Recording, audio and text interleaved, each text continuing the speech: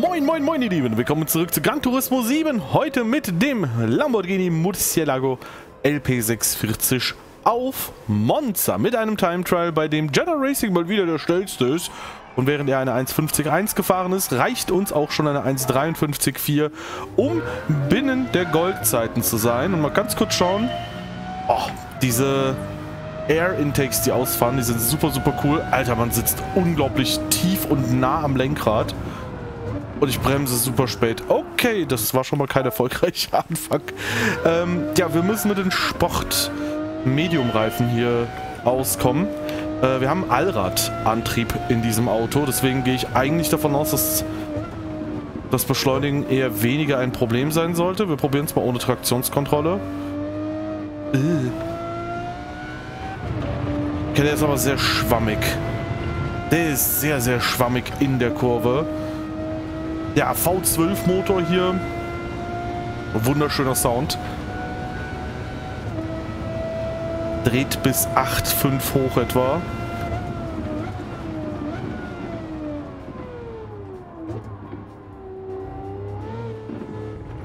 Monza mittlerweile ja mit einer leicht umgebauten ersten Schikane. Wird man jetzt am Wochenende in der Formel 1 sehen. Ich schätze auch mal, sehr in der Formel 1 hat man auch das Time Trial hier auf diese Strecke gepackt.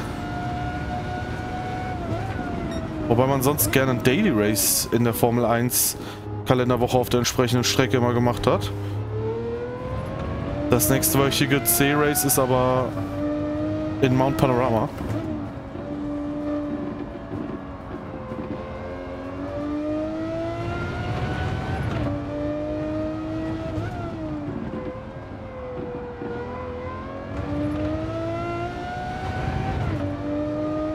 Let's go, let's go, let's go. Oh, das Gekreische von diesem Auto ist der Wahnsinn.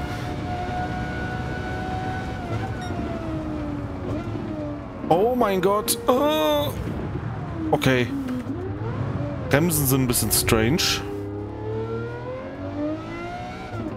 Allgemein muss ich halt sagen, ich finde den Lamborghini Murcielago sehr, sehr schön. Ein sehr geiles Auto muss aber sagen, bei manchen Interieurentscheidungen bei Lamborghini bin ich nicht so ganz d'accord. Ich glaube, die aktuelleren äh, Huracan-Lenkräder finde ich nicht so ästhetisch. Äh, habe ich letztens auch mal die Galado-Sitze äh, gesehen. Die finde ich auch ein bisschen komisch. Allgemein wirkt das manchmal halt ein bisschen klobig.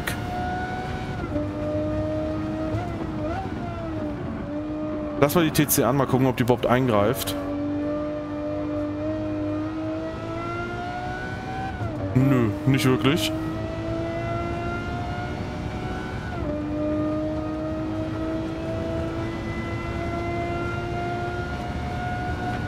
Kann man die ja sogar im Zweifel drin lassen. Alrighty. Oh mein Gott. Ey, schon wieder zu spät gebremst. Huiuiuiui. Ja, ist natürlich auch immer eine Ungewöhnung, ne? In Gran Turismo fährst du oft mit Rennwagen und dann bist du mal mit einem Straßenwagen unterwegs und plötzlich BAM. Das ist eine ganz, ganz andere Geschichte. Okay, nochmal. Also merke, Dave, in der schnellen Runde musst du hier deutlich früher bremsen, weil du da schneller ankommst. Selbstgespräche helfen meist weiter.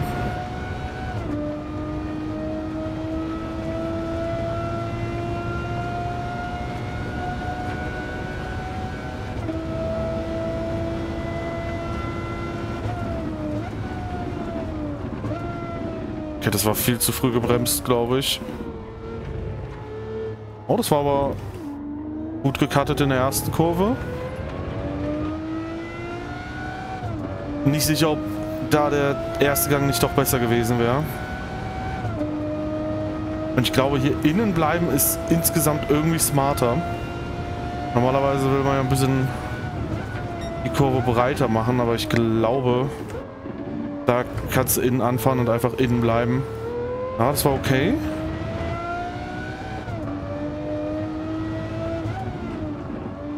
Hat die Traktionskontrolle sogar mal kurz eingegriffen. Keine Ahnung, ob die wirklich was bringt.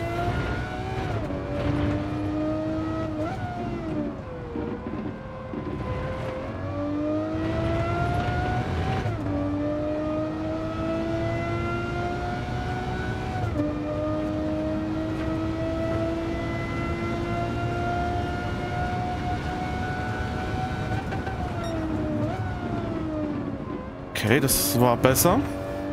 Ungefähr bei 200 Meter bremsen. Ich muss halt auch sagen, das Force Feedback ist so viel leichter als bei Rennwagen. Krass.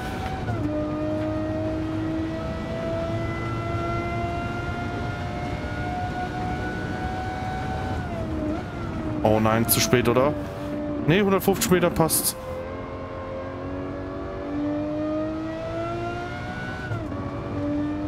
Glaube, so eine 1,53 reicht für die Goldzeit, aber da sind wir noch nicht ganz.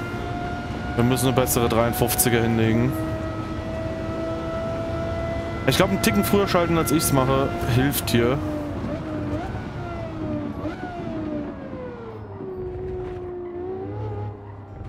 Also die erste Kurve nicht so gut gecuttet. Dafür so viel schneller durchgekommen. Krass. Also beim Anbremsen sieben Zehntel gewonnen. Das ist schon heavy. So. Ungefähr bei 200 Meter.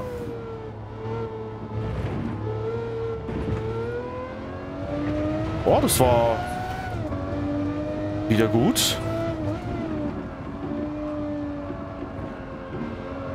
Also nach anfänglichen Einstiegsschwierigkeiten muss ich sagen, finde ich jetzt gerade auf Anhieb sehr viel Zeit. Auch wieder nicht zu spät.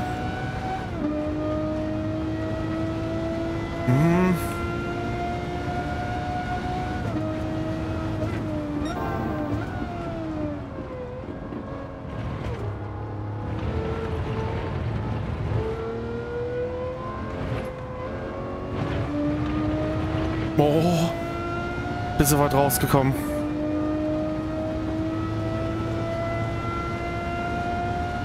Ja, hier im vierten bleiben.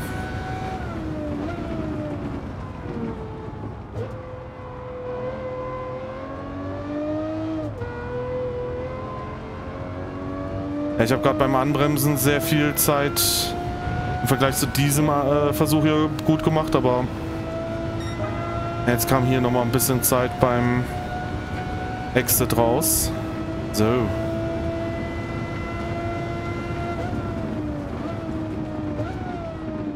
Vielleicht kriege ich jetzt das Beste aus beiden Welten. Vierzehntel langsamer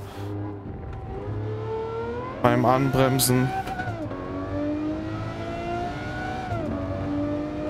Immer noch anderthalb bis zwei Zehntel hinterher.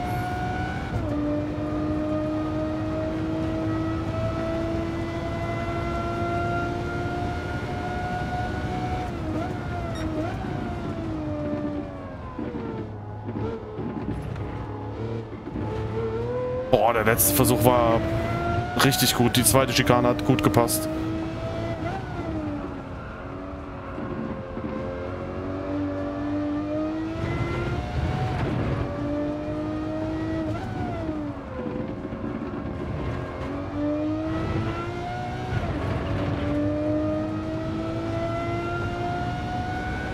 Hm. Wo genau kann ich jetzt noch Zeit rausholen? Das ist jetzt die entscheidende Frage. Hier ungefähr bei 200 wieder bremsen. Oh.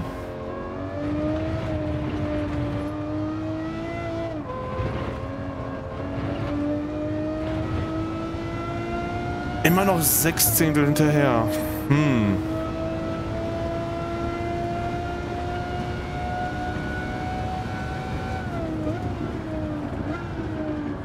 Oh oh soweit. Das Ärgerliche ist, dann ist auch die nächste Runde gleich mit ungültig. Boah, ich würde schon gerne 52er Zeit fahren. Dann ist man sehr safe. Aber wir haben auch erst 10 Minuten in diesem Time Trial verbracht. Das passt schon.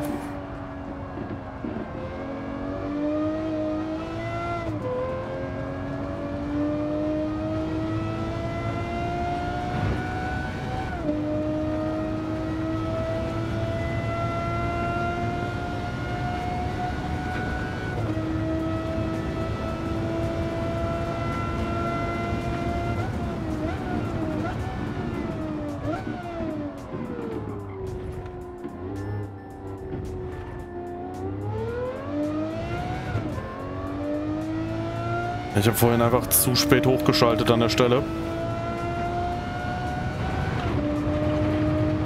Das hat jetzt besser gepasst. Ja, ein etwas schnellerer erster Sektor, das ist okay. Oh no! Ja, das war viel zu spät. Viel zu viel, zu viel zu spät. Äh, spät. Das ist halt das Ding, wenn du ein Auto fährst oder eine Fahrzeugklasse quasi hier fährst und bei Straßenwagen ist eigentlich jedes Auto schon eine eigene Klasse. Dann weiß man halt nicht, ey.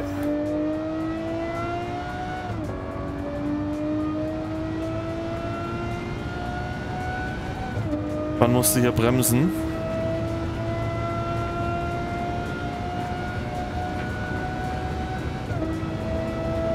Das ist jede Kurve speziell.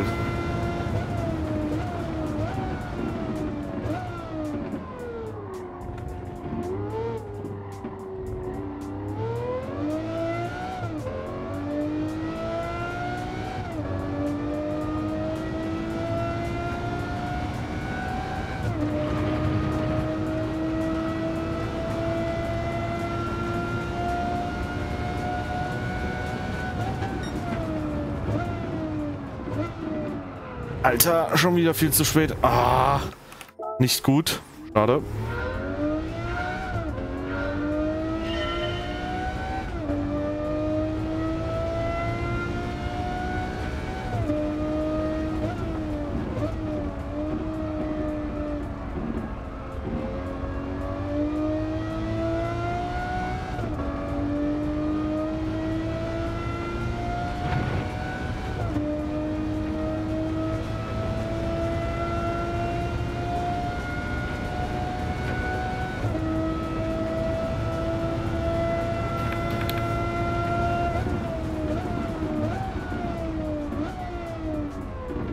Und schon wieder zu spät gebremst. Alter. das ist auch echt... Also es ist äh, anstrengend. Vor allem du musst jedes Mal, wenn du dich verbremst, die Runde neu starten. Von... Ja, quasi dem Anfang dieser Gegengraden vor der Parabolika-Kurve, die mittlerweile Alboreto-Kurve umbenannt wurde. Nach dem Ex-Formel 1-Fahrer.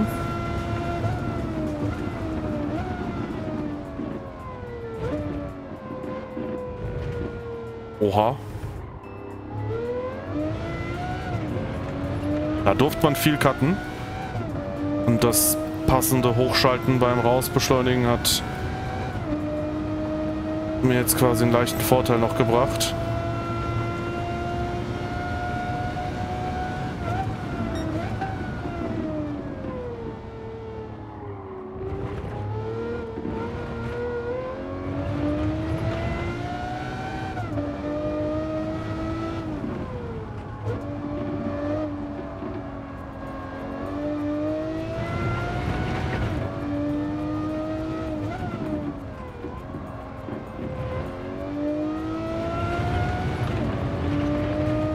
Okay.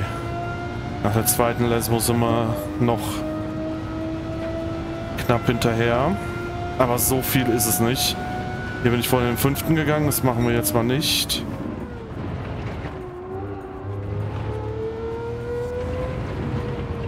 Ganz weit rechts bleiben. Um hier schön die Kurve breiter zu machen. Ja, geht. Ascari ganz gut verlassen wieder funktioniert die Lüftung sogar bei dem Ghost. Krass.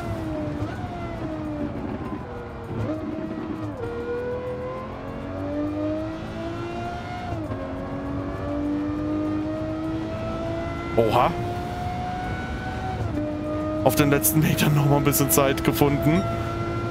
Eine 211. Ja, da muss noch ein bisschen was her.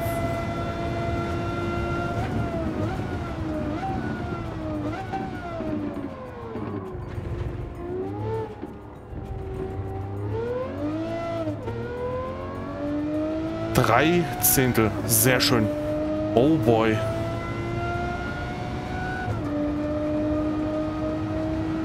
Das muss ich jetzt nur noch irgendwie sicher rüberbringen.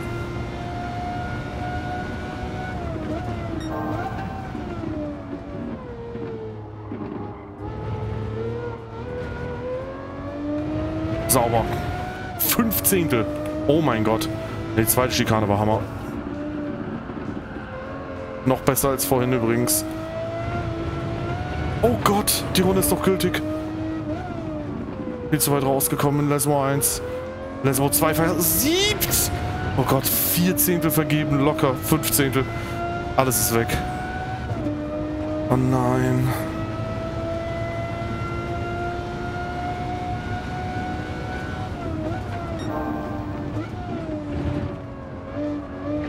Mal, wie viel ich hier cutten darf. Oh, doch eine Menge. Oh, da auch. Ah, okay. Da war ich einen Ticken zu weit draußen. Okay, also ich sag mal, mit dem Wissen, was ich jetzt habe und wenn ich es so hinbekomme wieder, eine 52er ist safe drin. Ich würde sogar sagen, sowas wie 52,5 oder so ist machbar.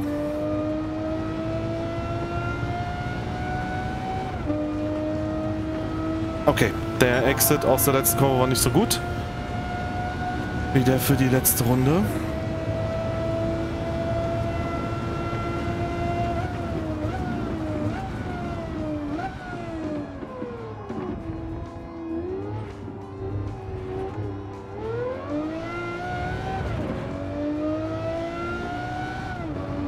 Schikane 1 war katastrophal.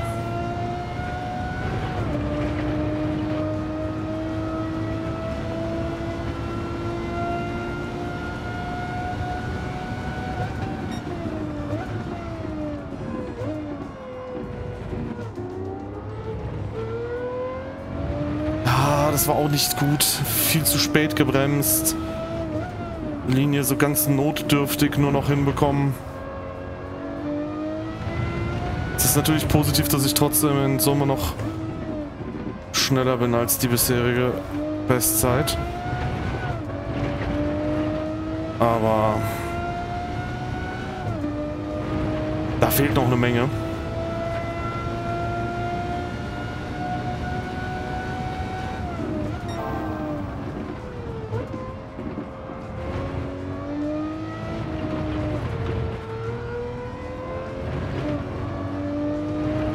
15.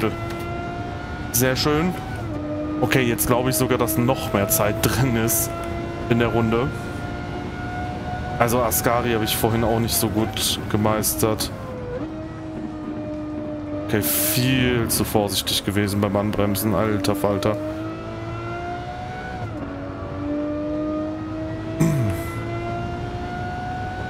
Es ist die 52er Zeit. Alles, was jetzt kommt, ist Bonus. Da ist aber noch so viel Zeit drin in der Runde. Okay, auf geht's.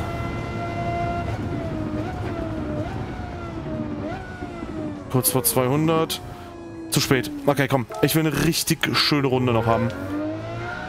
Ich glaube, unter 52,5 geht noch. Das kriege ich noch hin. Ich werde es jetzt nicht auf Biegen und Brechen versuchen, aber Okay, ganz weit außen. Ich hoffe, dass es eine gute Antwort für die neue Runde jetzt ist.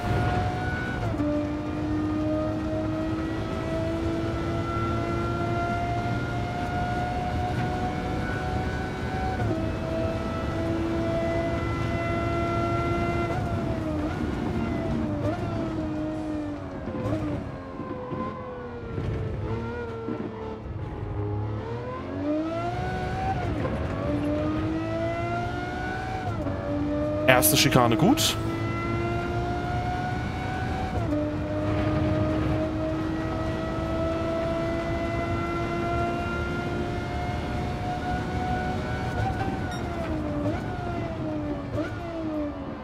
Oh nein, zweite Schikane. Nicht so gut. Schlechter noch als im letzten Run, krass. Oh Gott.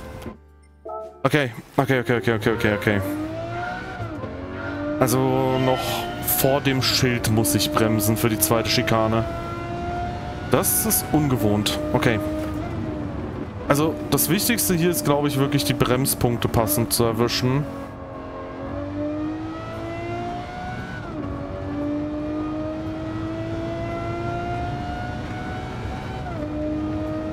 Also auf geht's. Kurz vor 200 Metern muss ich hier für die erste Schikane anbremsen.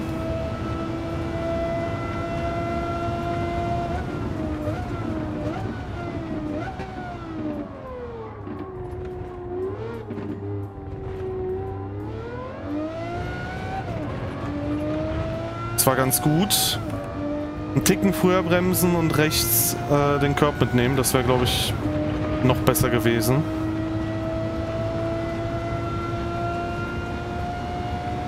So. Vor 200 Meter eigentlich noch bremsen, oder? Ah ne, es war ganz gut. So ordentlich. So gut.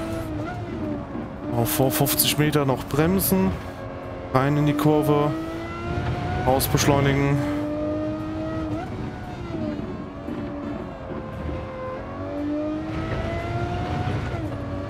Ah, das passt auch bisher.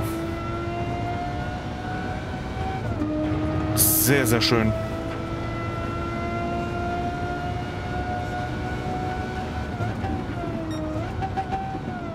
Ich hätte noch später bremsen können eigentlich. Aber es passt.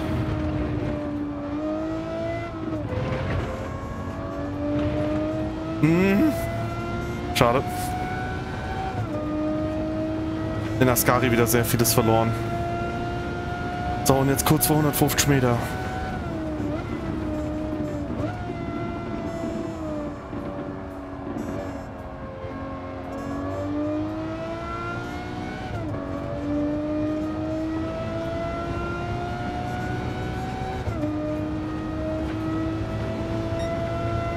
Ah, eine 52,8. Immer noch.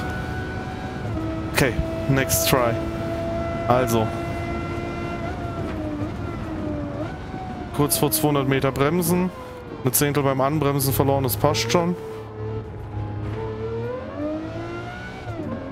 Das holen wir hier jetzt alles wieder raus, oder? Na, geht.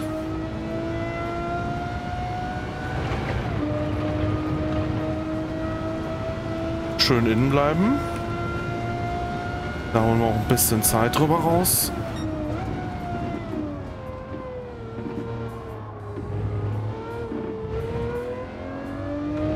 Das sah sehr schön aus. Guter Exit.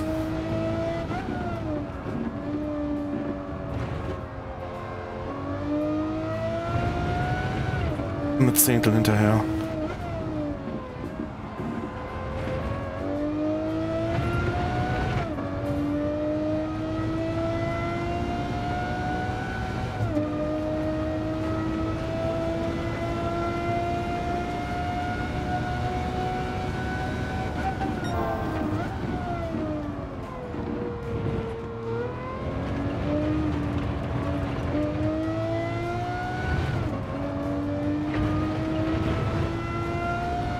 Eine Zehntel.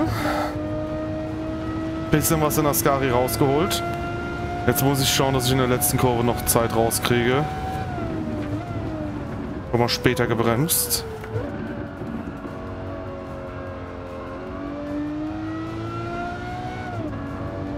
Drei Zehntel. Das ist auf jeden Fall die Vierer jetzt. Sehr schön.